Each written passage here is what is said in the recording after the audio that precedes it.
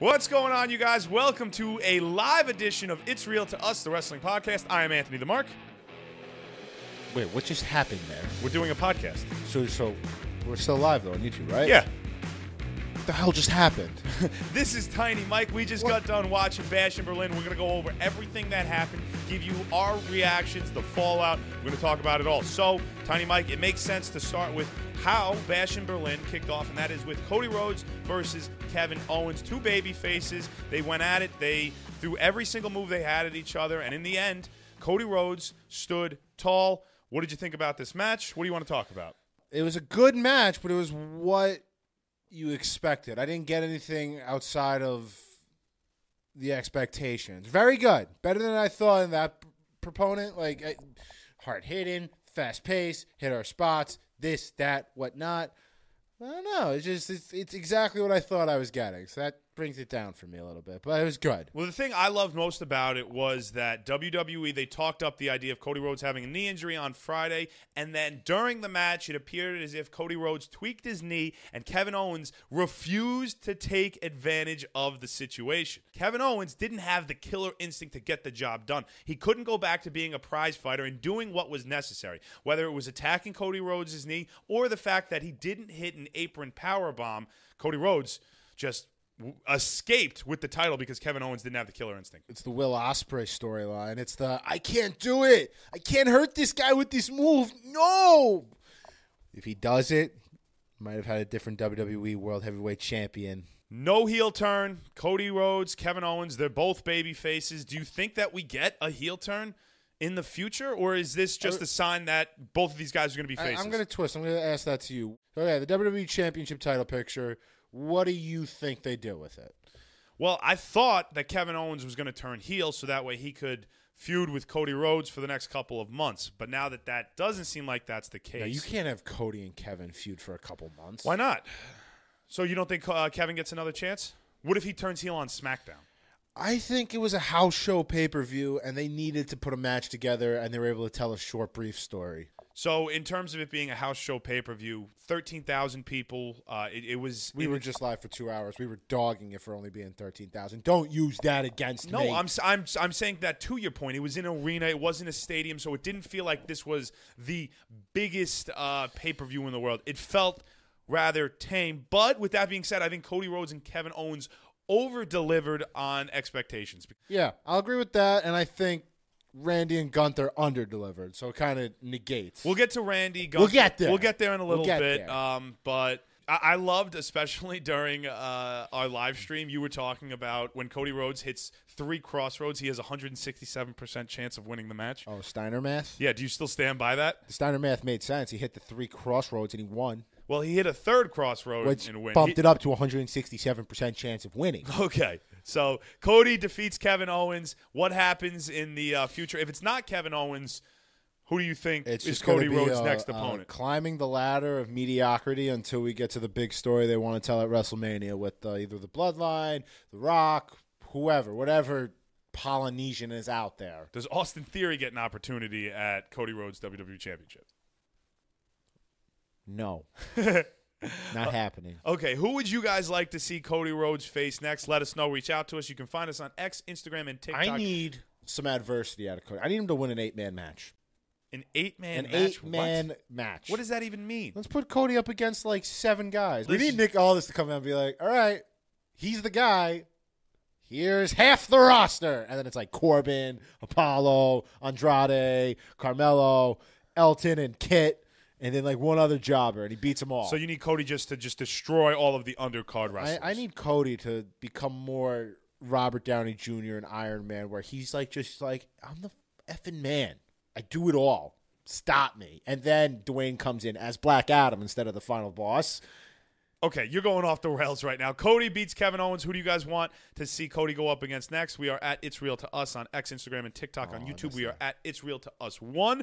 Cody Rhodes, Kevin Owens, one to five. What do you give it? I give Cody Rhodes, uh, WWE World Champion, three American flags out of five. I'm not gonna do the boom and doom thing. It's it's obnoxious. Uh, match predictable. The way it unraveled at the end was exactly how we called it live on stream. even with the Kevin Owens being upset and then raising his hand. Saw it a mile away, but it was a good match. So the predictability knocks it down, but the deliverance upon the match and the way they, they got there brings it up a little bit. I give you a three out of five. I am glad that we didn't get a heel turn. Uh, I was originally on record stating that Kevin Owens was going to turn heel. Ended up not. It was a good old fashioned face versus face match, clean down the middle. I was heavily entertained.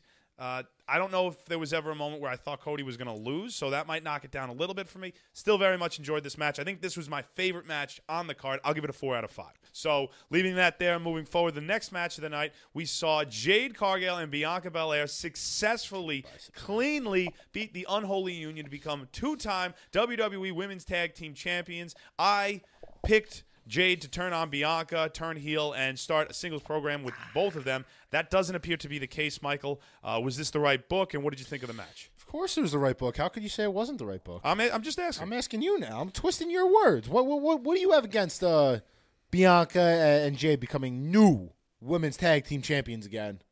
I have nothing against it because I think they are clearly the more powerful and imposing tag team, and having them atop your division is just what's best for the division in its entirety. Exactly. Get your big brand stars on TV. Give them a reason to be the focal point.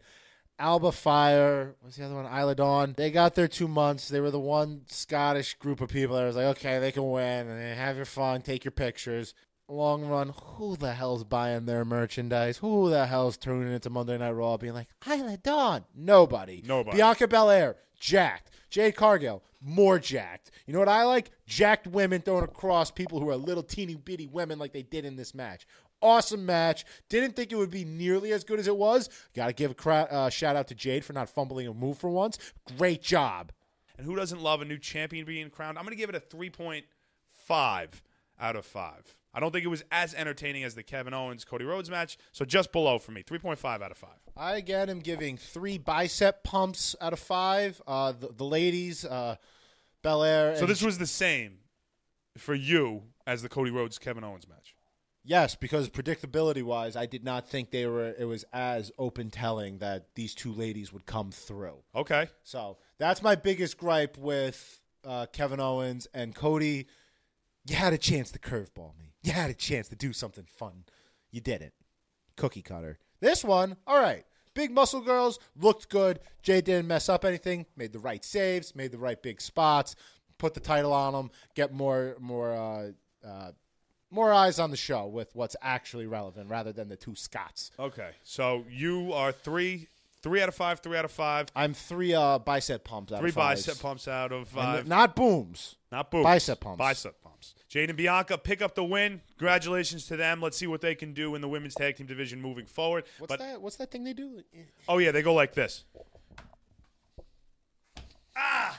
I'm still watching all these Gunther You highlights. like chopped me a hundred times well. I, I, it's Bash in Berlin. It's, Gunther. Ah, my chest is getting red. Good. So moving on now. Next, we're going to talk about the third match of the night, which was the personal rivalry: Drew McIntyre and CM Punk. The second time that they've squared off one on one. Only this time it was a strap match. And I'm going to say oh. this. I don't know how you feel about it. I was entertained with this match throughout. CM Punk ended up winning the match. He got his bracelet back. He hit six go to sleeps on Drew McIntyre, and he successfully touched all four turnbuckles and won the match.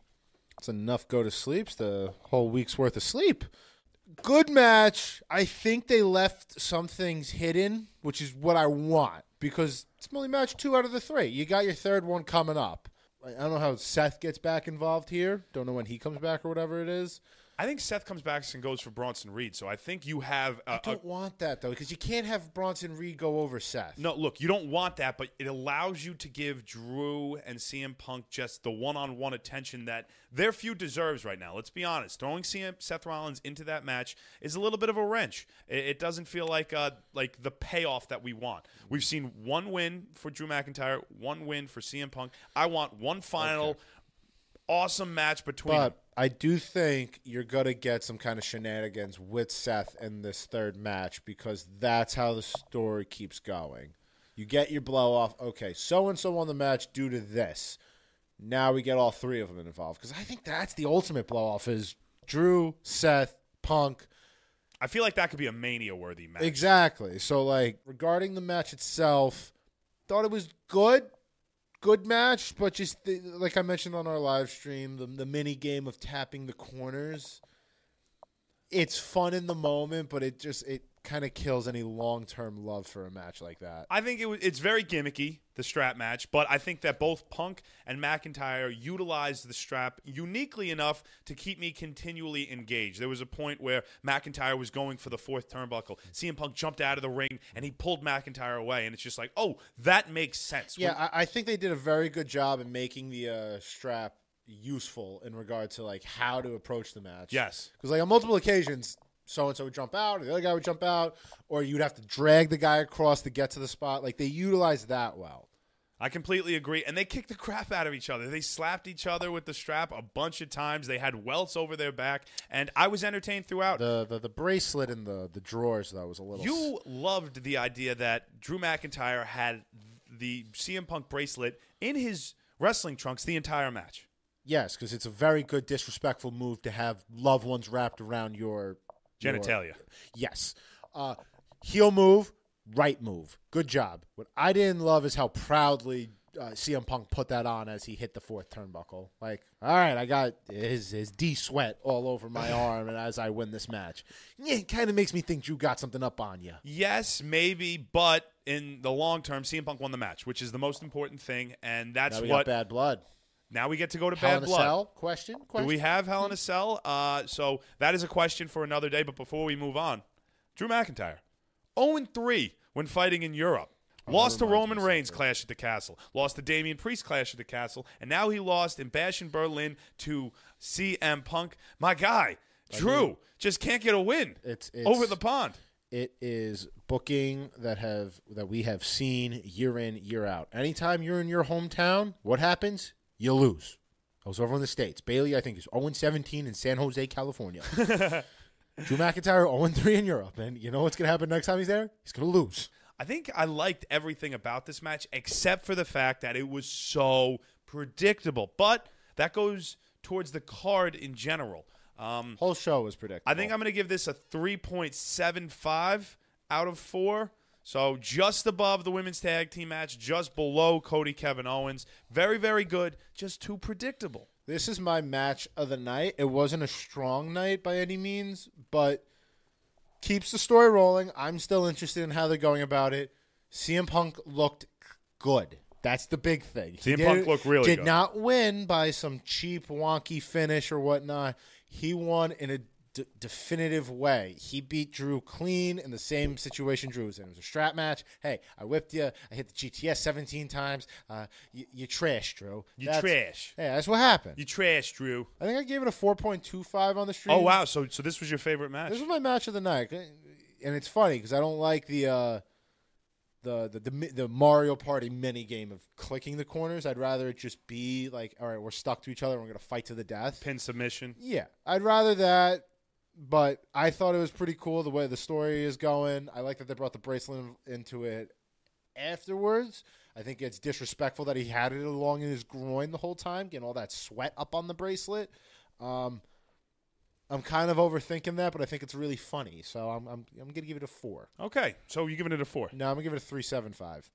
Okay. So you're talking yourself down from the 4.2. Psych four because I like Punk. Great. Let's talk about the mixed tag team match. The Terror Twins versus the Judgment Day. Rhea Ripley, Damian Priest were able to get a bit of revenge over the Judgment Days, Liv Morgan and Dominic Mysterio, after they successfully beat them. However, we did not get a Dominic Mysterio riptide. And that, for me, kills this match. I, I- it's what I, wouldn't was. say it kills it. It kills it for it's me. just I- I feel like a lot of this show was house show, Monday Night Raw, SmackDown. Like like nothing really popped out to me, and this match is like that as well. Yeah, this. I felt like I watched a Monday Night Raw main event with these two. I, I think that's a great Wasn't way. bad, but it's not. All right, you're a pay per view like once a month. Like, it wasn't that standard. Uh huh. No real cliffhanger either. The Terror got the comeuppance. Yeah, we're going into bad blood. Haha. Yeah. No uh, surprises. Very much a Raw main event, and I think that goes back to the overall like theme of the show was 13,000 people. It's in an arena. Uh, the matches are kind of by the numbers, and it just it feels very formulaic. So, uh, unfortunately, I, I think that th- this match, the tag team match, ranks a little lower for me. What's, uh, in, in like for all of the matches? What's the direction you think Judgment Day goes in now? Um, I Are we think doing Damian versus Finn? Are we doing? So Rhea Ripley pinned Liv Morgan. I think that Liv Morgan, Rhea Rhea Ripley, they are going to have another championship match down the road, and then we all want to see Damian versus Finn Balor. So those matches are going to happen. It's a matter of whether it happens at Bad Blood or they kick it down the can and um, they have it somewhere else. There's also a Saudi show coming up, so definitely it seems as if those feuds are far from over. This felt like a pit stop almost uh, into like a larger and bigger match. Now, random question. Terror Twins are clearly outnumbered. How would you have them help uh, settle the odds a little bit? Who could they recruit?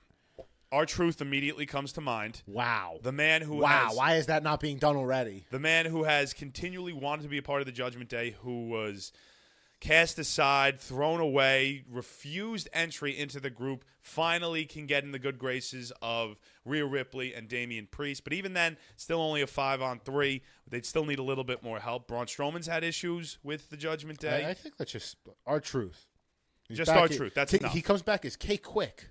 Rhea, Damian were dominant throughout. You saw Liv and Dom depend on outside interference from the Judgment Day to really have a chance. But even then, the Terror Twins were too much to handle, and they took care of business. Rhea Ripley pinned Liv Morgan. What do you give it? One out of five. It just seems like a stepping stone to the next part of the story. We have Bad Blood coming up. The match was okay. I like that Rhea went kind of nuts and started clotheslining uh, Dominic. That was fun.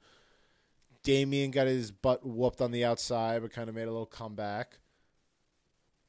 I'll give it another three. Kind of want to give it a little bit less, but uh, they didn't do anything wrong. For me, this was the worst match of the night. I felt that it just lacked something. There was yeah, there was definitely lacks something. Yeah, it, something was missing. It wasn't bad, but it, it didn't feel like you were saying like a premium live event match. It felt very much like a Raw match. And eh, for that, given the stakes, given the spotlight, the stage, I wanted more. I wanted that Riptide. And the fact that I didn't get a Riptide to Dominic Mysterio makes me upset. Three out of five, my uh, least favorite match of the night, which then brings us to the main event Randy Orton versus Gunther, the World Heavyweight Championship match. The crowd made this match. They were heavily behind the uh, hometown hero, Gunther, throughout. He's not from Germany. He's still the hometown hero. The people wanted him. He was the favorite, okay? The crowd was behind him. They loved him. And that helped intensify what was a slow match, in my opinion. Would, you agree? Very let down with this match. Uh, very let down. Very slow match. That's kind of how Randy matches go. That's kind of how Gunther matches go. Um, yeah, it's a real shame that they. It seems like they just banked off of okay, Gunther's going to get the biggest applause or interest of the night, so we'll put him on last. And when you deliver a match like this, I'm leaving the pay per view upset, and that's that's tough because it was overall pay per view was okay, cookie cutter is the way to put it, mm-hmm. and you're sending me home on the most sour way possible. I agree with what you're saying. It was cookie cutter, but it was unique seeing the crowd behind Gunther. It was unique seeing Gunther wrestle as a face. Randy wrestled as a heel in this match. I don't know if anybody is going to argue me on that, but you don't poke wrestlers in the eye. He was disrespecting the crowd a little bit. Randy was 100% the heel. So the, dy- the dynamic between the wrestlers was interesting. The fact that Orton sent Gunther through a table was fun. I didn't like the end. Felt like a little anticlimactic to me. Um. Randy was trying to get out, uh, you know, get out of Gunther's grasp, and he did, only for the ring general to bring him back into the chokehold and the sleeper hold and win the match. The RKO spot was a lot of fun, but not great. Felt like they could have done a little bit more, and I think their match at King and Queen of the Ring was better. But I think that was a match was hundred percent better. yeah, but I, I leave this match and I'm like, you, it's like I was looking for a little bit more out of Randy. I feel like Randy's the one that sold me short. so was that your least favorite match of the night? And what do you give it? One to five. It's tricky because is it the worst match of the night? No, it's the main event though, so you got to hold it on a different, different little, little, little, different little pedigree. It was very slow. I didn't believe Randy had it at any point in the match, even after the first RKO. Um, Gunther didn't do anything shocking off for me. It felt like again, like like okay, we got these Germans money, we have the house show. We got let's let's just have the guy win and then put his hand up at the end of the show and send everybody home happy. And it's like you got most of your people not in Germany watching this match, and they're just probably wincing and trying to find positives like we are right now. So where does it fall then on your board? Last, This is last. This so, is so what was the grade? One to five. I'll give it a two seven five. Wow, that's low. Was it a good match? That I didn't think it was a bad match. I don't think it's a two seven five. For a, a pay per view main event, and especially when they just did Randy versus uh, Gunther a couple months ago King of the Ring, and it was a way better match in my opinion. yeah, yeah. It was slow. It was dragging. It was eh, Predictable. eh, that's the that's that big word. This match and a lot of the matches on the card were predictable. And you go back to SummerSlam, that was really predictable too. So the Triple H era has fallen under this predictability umbrella, and I think because of that, it lessens the overall grade for me of what the card. So let's just talk about the card overall in general, and we'll send everybody on their way. I think that we've mentioned it a lot already on this podcast. 13,000 people, felt like a house show, cookie cutter matches, everything was predictable. So because of that, I can't give this anything higher than a 3, really. It was it was kind of a lame pay-per-view. Yeah. The more I'm sitting with it, lame. Very lame show. Very lame Um, show. I give it a 3 out of respect. Some fun spots. I think Cody and Kevin definitely delivered. They got the crowd expected. hot. They they did a great job. uh, you know what the you want to know? that's probably my match of the night, actually. Yeah, I think so. I think that's I mean, the strap match was good too, but the best part I think of the show overall was the crowd. I think the crowd The crowd was really good. the crowd helped make some underwhelming matches better. You know, al- although maybe it was a little bit of a letdown, we all knew this wasn't going to be the biggest and best show ever. This is WWE just like landmarking like events. It's like, oh, okay, we're gonna give Gunther his moment in uh, Berlin, well, just like they gave Rhea Ripley her moment in Australia. Australia. So It's a lot of prep for Bad Blood. a lot of prep for Bad Blood. What did you think of the show? What was your favorite match? What would you rate the card overall? Let us know. You can reach out to us on X, Instagram, and TikTok at It's Real to Us. And on YouTube, we are at It's Real to Us. One, I am Anthony the Mark. And I'm Tiny Mike. Shout out my boy AJ Vegas. How you doing? Thank you all for watching. We appreciate it, and we will see you next time on It's Real to Us, the Wrestling Podcast. Ow!